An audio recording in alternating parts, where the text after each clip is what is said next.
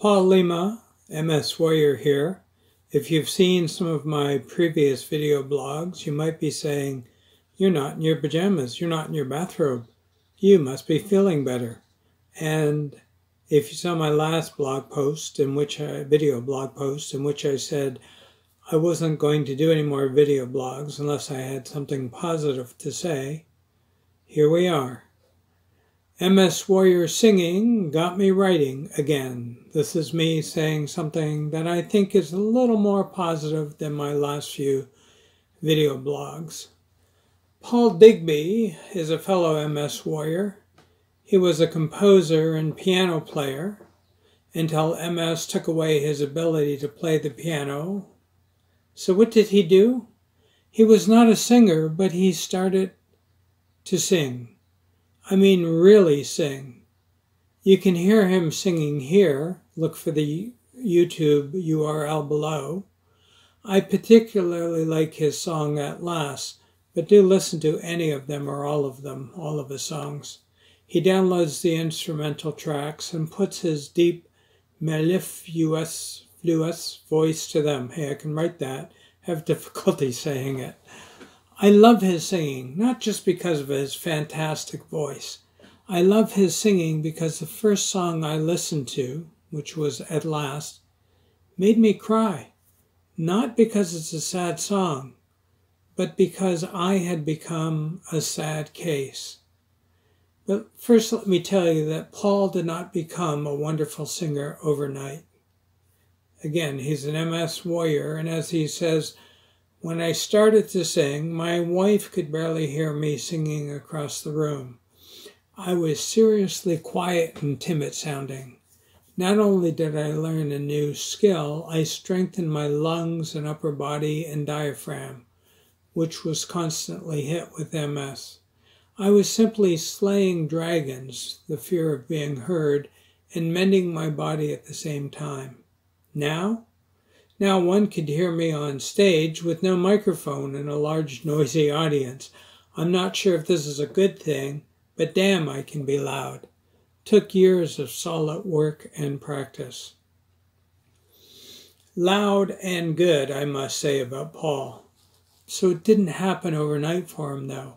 He had to persist. He had to lose something, the ability to play the piano, and gain something the ability to sing. But again, he really had to work to become the singer he is. Now, I have been a writer and trainer pretty much all my life. I was a freelance journalist for 12 years, became a corporate writer trainer. I have written 25 books.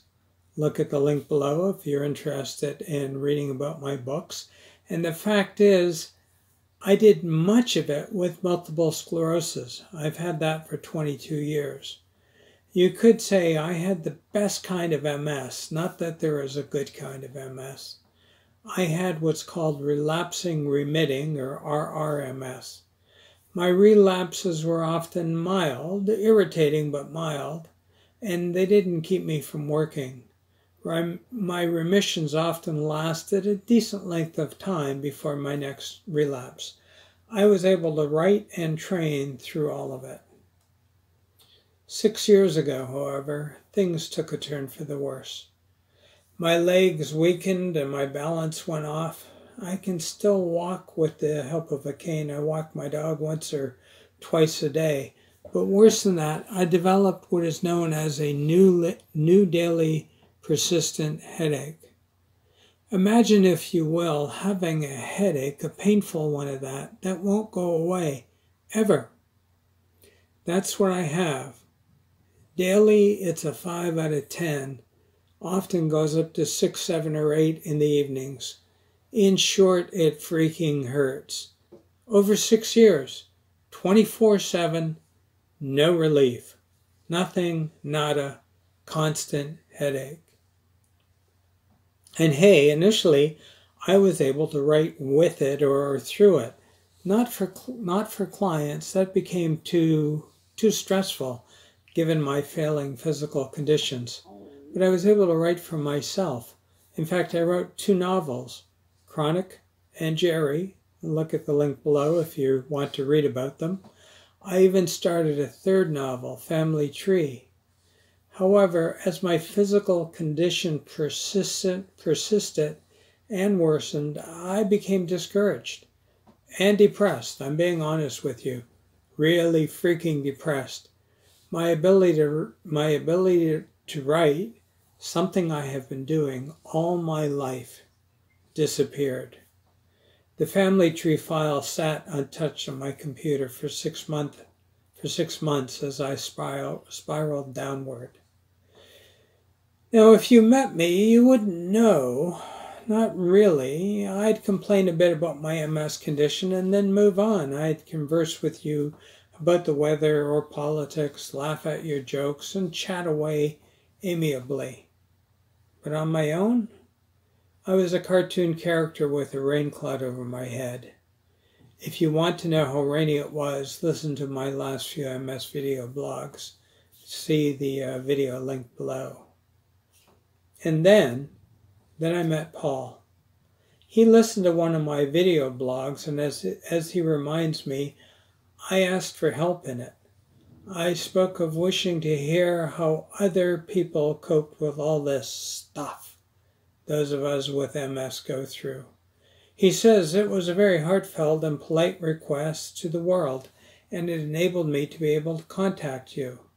In other words, if I had not asked for help, we might not have met, and I'd most likely still be in a funk. Ask for help. Again, as Paul says, I think that is extremely important. Too many people just give in and give up because they don't know how to ask others or the universe to help them. You made it so easy for me to contact you. He connected with me, and I got to discover the man who did a U turn when he could no longer play the piano. I met a man who started to sing, developed his voice, and put his singing on YouTube. And I cried. Why?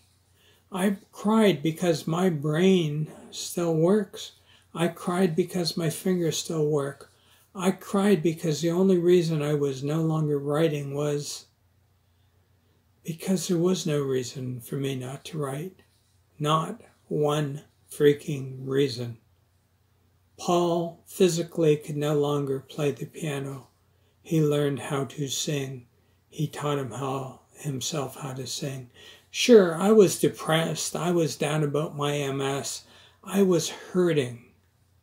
But if I put my fingers on my keyboard and typed through it all, guess what? Words appeared on the page. I discovered or rediscovered that it was that simple. I am now 12 chapters into my 30 chapter family tree novel. All 30 chapters have been outlined. It's all over but the writing, and I'm writing again. The goal here is not to sell 10,000 or 1,000 or 100 or even 10 books. The goal here is to finish my novel because I am a writer and I want to write. Or let me rephrase that because I am a writer and I am writing. Who are you? What do you want to do?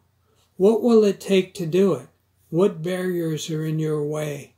Can you knock them over? Can you go around them? Can you go through them? Do you need to make a U turn and head off in a different direction? One that is, in its own way, just as fulfilling. I can't answer those questions for you. I can say that you may want to ask them of yourself. After all, what's the alternative? Sit on your butt and stare into space? Trust me, I did that for like six months. It is no freaking fun. With that in mind, allow me to say thank you, Paul. Thank you.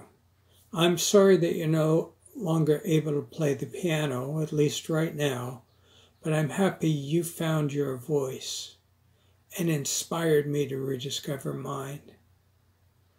I just want to add a final point. Hearing Paul sing and knowing why he started to sing pulled me out of a deep funk. I still hurt physically, but now I am doing all I can do to remain more mentally stable. I was able to come back without the help of a therapist or meds. If you're in a funk and you can't get out of it, please know that I am not saying it's easy. It is not easy. I am saying it's worth digging deep to get out of it.